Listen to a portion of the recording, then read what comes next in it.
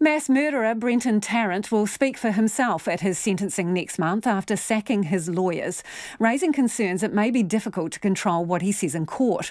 But a leading criminal barrister says there are tight legal constraints on what the mosque gunman can speak to at sentencing and also on his access to victim statements. In March, the 29 year old pleaded guilty to 51 charges of murder, 40 of attempted murder, and one charge under the Terrorism Suppression Act relating to the attacks at the Al Noor and Linwood mosques. Marie Dyhrberg says it's his legal right to represent himself despite what people may think of his crimes. When somebody is represented at sentencing, they don't speak because they have counsel. In his case, of course, an intervener is not his counsel, so I can anticipate he will be allowed to speak. But a judge will be ensuring that whatever is said is within the bounds of what is appropriate for sentencing. That is an interesting scenario, isn't it? Because once someone opens their mouth and says something, you can't put the genie back in the bottle. So, quite difficult to control, isn't it? Uh, you can jump pretty quickly where you can silence someone. Now, the general feeling is that sentencing is so important to anybody f- facing the court and access to justice that sentencing, the default position is you are there in person. But it may be that there are different considerations here and that the sentencing may take place with the defendant remotely and, of course, in effect being being on camera. That is something a judge may decide. The defendant will be allowed to argue against that uh, because, of course, they must have a view, and the Crown will have a view as well. But that is one potential way of keeping somebody under control. It's a very big step to deny a defendant access to the public courtroom. So, in the courtroom, then, would you anticipate, because when lawyers make submissions at sentencing, they're standing up, they're in the body of the court, um, where would he be? One would think logistically, for security reasons, um, and, just for any defendant, they must, of course, be with a security guard, whether they uh, pose a real problem or not. That they would set up, I would imagine, the dock where the person would have uh, the desk available, would have the microphone available, and of course can see and hear the judge and the Crown. Or they may have a separate uh, box set up so that he could be in the court, but he certainly, uh, nobody, even lawyers, uh, certainly no one in the court is allowed to just simply walk around the court. Uh, but, but he will be entitled to see and hear the judge and the Crown at all times. And victim statements. In cases like these, victims can make uh, victim impact statements to the court. Um, will he get access to that sensitive information? Yes, he will, and he must.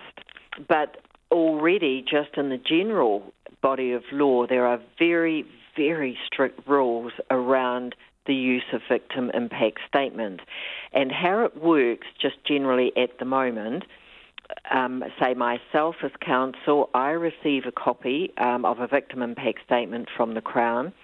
I do that on the undertaking I will not copy it.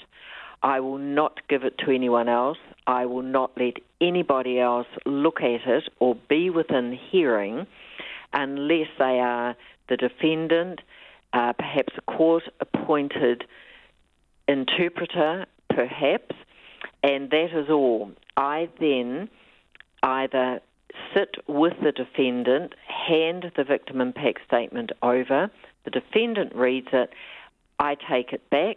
At the end of the hearing, I hand it back to the Crown and they take it back into their custody. Or I will read the victim impact statement out to the client. Sometimes clients don't want to listen, they don't want to hear, uh, but at least they've been given the opportunity he will not um, get it directly because no defendant will receive it directly, uh, even if you are self represented, there are ways um, and procedures in place where they do not have that control over a victim impact statement. How does the court manage the situation whereby an individual like this may get some satisfaction or glee from involving himself in the proceedings along with victims? There uh, are always going to be people who want to do that. There are, are going to be defendants generally who want to go all the way, who want uh, people to have to read, you know, um, read statements at court that should should be accepted as evidence, and you cannot control that because the system says you're entitled to that. There'll be a lot of logistics uh, that will need to be considered in terms of who can access the court, members of the public, because of course the public arena is uh, not huge in any courtroom in New Zealand. All sorts of identification how our submissions are presented, how people are kept under control, and that's for everybody in the court so that the decorum of the court is maintained. And there will be plans, if I sound a bit flippant, plan A, plan B, plan C, they'll all be in place and ready to be uh, put into effect should certain things happen. It will be a very well prepared sentencing with all uh, potential circumstances taken into account and what the response will be. What are the options for sentencing? Because there would be well, no case that is directly comparable. And the number of people that have been killed here, and obviously attempted murder 51 murder charges, 40 attempted murder, and a terrorism um, charge. What is the potential scope? Is there an upper cap on the sentence that this man could get? No. And, and there is a misconception, unfortunately, where people read in the paper that, oh, yes, that somebody's got 13 years or 15 years. When somebody's convicted of murder, they are sentenced to life imprisonment, and it means just that. You are in prison for life. Where the numbers come into play is that there is then the option of having a minimum parole sentence put in place, and you cannot apply for parole before that time is up.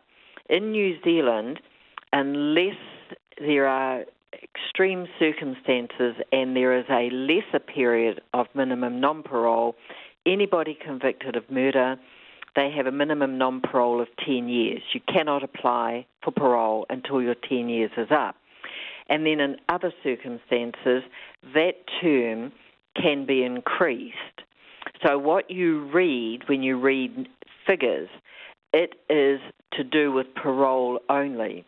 This person has pleaded guilty to murder, has been convicted of it a number of times, but anybody who is convicted of life imprisonment gets, sorry, murder, gets life imprisonment, and it means that you can stay there for your life.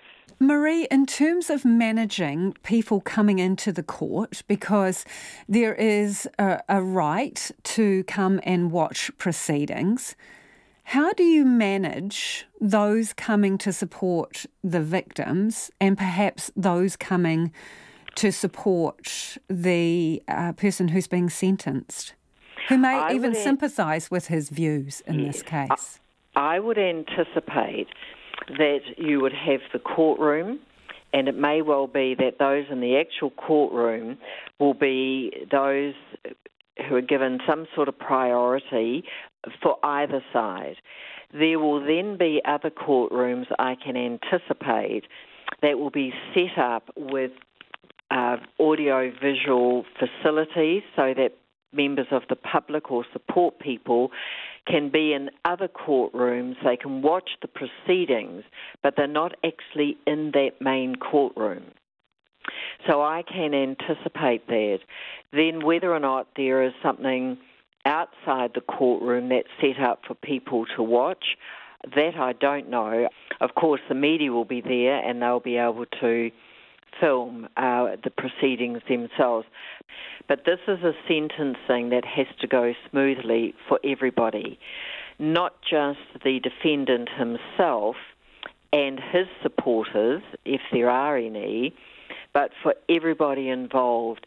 So there will be a lot of steps taken to ensure when there is a very unpopular defendant, mm. that person exercises all the rights they're entitled to.